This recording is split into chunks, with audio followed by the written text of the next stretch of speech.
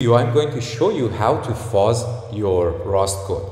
So if you're unfamiliar with fuzzing, I would recommend you uh, take a look at one of my uh, past videos uh, in which I explain how to fuzz your Solidity smart contract uh, because the principles are the same. Um, so in a nutshell, fuzzing allow you to stress, you know, your code, your function, you know, whatever you have in order to catch unpredicted behavior. So how we do that, we usually introduce numerous random, you know, and uh, sometimes incorrect, you know, uh, data uh, or input to our to a function or to our target code uh, because we want to see how our program actually react to that.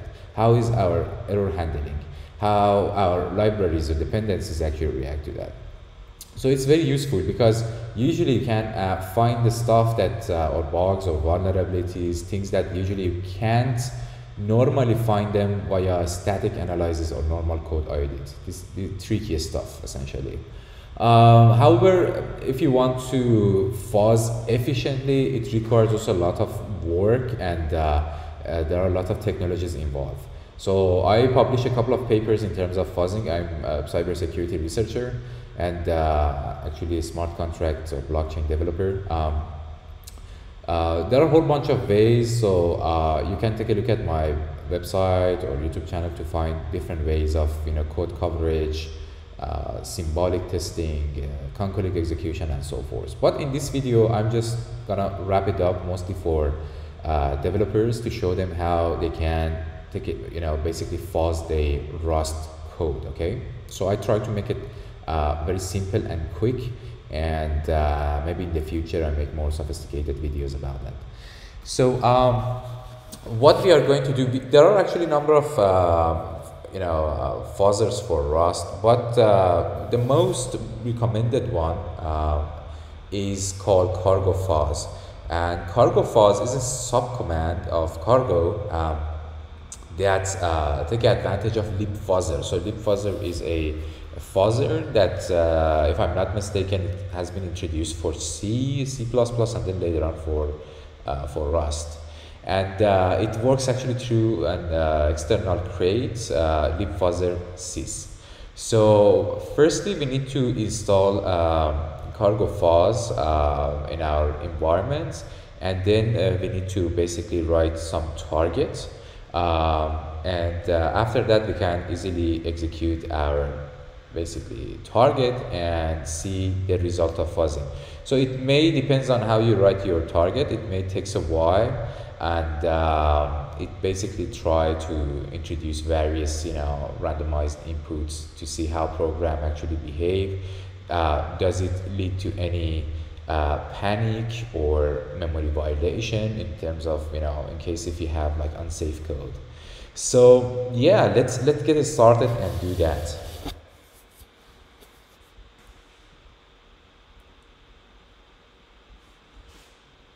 Loaded a benchmark code, you know, for our fuzzing. So we have a code over here and I opened that in VSC. So you can use your own environment. You just need to open terminal and you just need to make sure that Rust and Cargo are already installed. So presumably you have everything in place. Otherwise you wouldn't uh, move to, uh, you know, Rust fuzzing, right?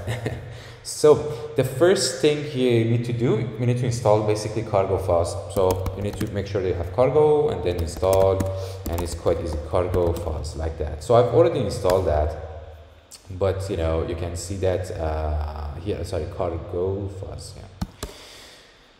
Yeah, I do have it, 0.11.0. So that's it and uh, you can also upgrade your um, um, you know cargo fuzz. So you can install uh, enter this command um, cargo install force cargo and fuzz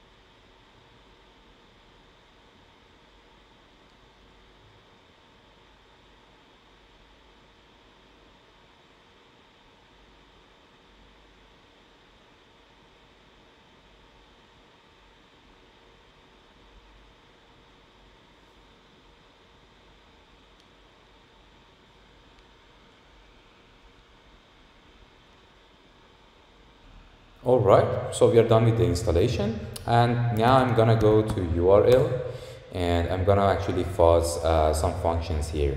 So the first command is cargo uh, fuzz init. So by running this command, it actually makes like uh, a target folder or fuzz folder for us and some target template, or empty template. So if you run like this, then you just list here, you can see fuzz folder, okay? If I go to fuzz folder, I do see, you know, targets and so forth. So in order to make sure that what do we have here or we don't have, we can use like cargo fuzz list and it shows us the list of targets. So we do need these targets to specify the target, which part of the code we are going to fuzz, okay? So we have like a template, you know, um, target over here. So let's actually take advantage of this template and a little bit enrich that. So um, if I just open this here, you can, um, you know, walk through this. Um, we go here. Okay, so this is our template basically. And uh, so here I'm gonna go and uh, a little bit, you know, uh, add some stuff. Um, I can just, you know, run these templates without doing anything, you know, and uh, but this is not efficient at all and it doesn't do very much for us. So then I need to use like cargo fuzz and run the, the name of, uh, you know, our, um, um, our basically uh, target uh, file, which is target uh, fuzz target uh, one and you see it may take some time you know um, to prepare that and grab dependencies and so forth. So um, here actually it's a uh, you need to put your stuff basically inside the fuzz target um, because uh, libfuzzer because this is our backend fuzzer in this for cargo fuzz uh, is going to actually uh, call the body of of here, you know, called the body of fuzz target uh, with basically uh, like sort of random bytes until you know our program uh, hits some sort of bug or crash uh, or any panic or segmentation fault or anything like that. So uh, what I'm going to do here is I'm gonna go and uh, fuzz a, a specific function here. I'm gonna use basically URL and I'm gonna fuzz one uh, specific function uh, within this module. Uh, so I call extern crate and the name of that is URL. Alright, so within my code, I'm gonna basically fuzz this specific function here to see how it parses basically the input. So here it takes like a string slice and uh, it returns the URL or generate error okay so I'm gonna go here and now I try to specify you know the context information for my fuzzer and I said okay um,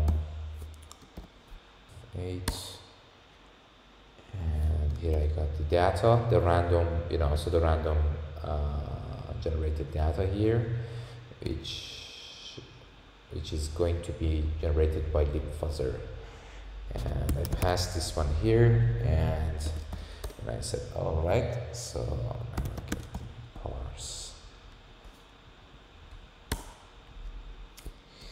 and x right here run this again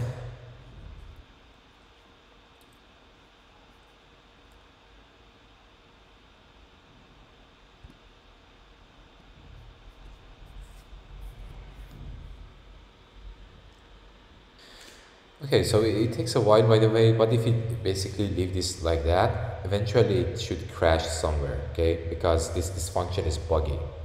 And, uh, but it takes a while, so you need to basically wait and uh, presumably you can also, you know, uh, run your code on a machine, on a server or VPS or something like that.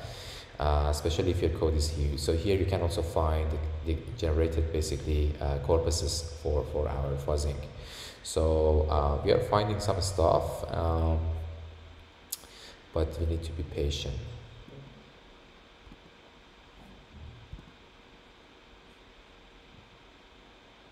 So it takes actually a lot of time. Sometimes it sometimes it could be quite short because we generate like pseudo random inputs.